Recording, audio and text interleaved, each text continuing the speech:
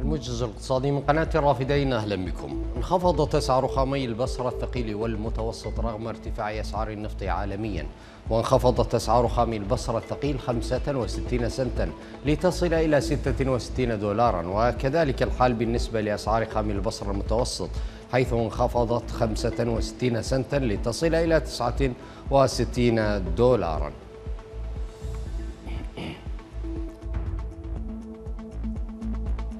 قالت إدارة معلومات الطاقة الأمريكية إن الطلب العالمي على النفط سيرتفع هذا العام في وقت يكون فيه نمو الإنتاج أقل من التوقعات السابقة.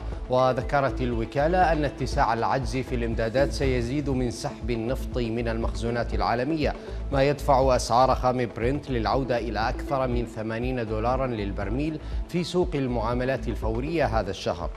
وأضافت أن متوسط أسعار خام برنت في التعاملات الفورية بلغ 73 دولارا للبرميل.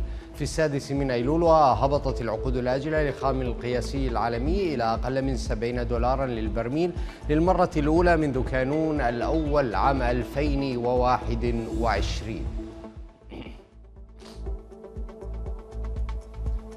أكد مختصون في الشأن المالي أن الدولة العميقة هي من تدير تهريب الدولار إلى خارج العراق. معتبرين أن تغيير أسعار الصرف سيخلق مشاكل اقتصادية جمة. المختصون ذكروا أن سوق المال يعاني من تحديات كبيرة وهو معرض لاهتزازات في أي لحظة خاصة وأن قدرات التحكم به محدودة في أغلب المحاور مع بقاء تهريب الدولار حتى اللحظة والذي بات شريان حياة لأسماء وجهات تمثل الدولة العميقة في البلاد من أجل إدامة سطوتها.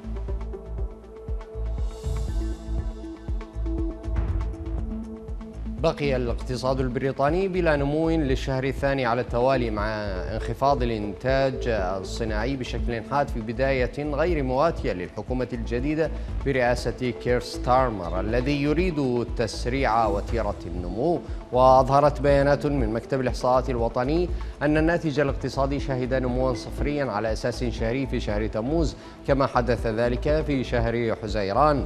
والأداء ضعيف للاقتصاد خلال الأسابيع الأولى لحزب العمال في السلطة كان بمثابة صدمة للندن التي كانت تتوقع نمو بنسبة 0.2%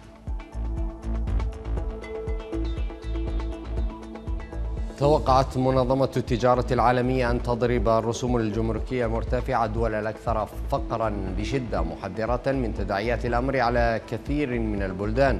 وأوضحت المنظمة أن الرسوم الجمركية واسعة النطاق التي فرضها الرئيس الأمريكي السابق دونالد ترامب في عام 2018 وقرار المملكة المتحدة بمغادرة الاتحاد الأوروبي قبل عامين مع الإجراءات الأخيرة بما في ذلك التدابير الأمريكية والأوروبية التي تستهدف السيارات الكهربائية المصنوعة في الصين.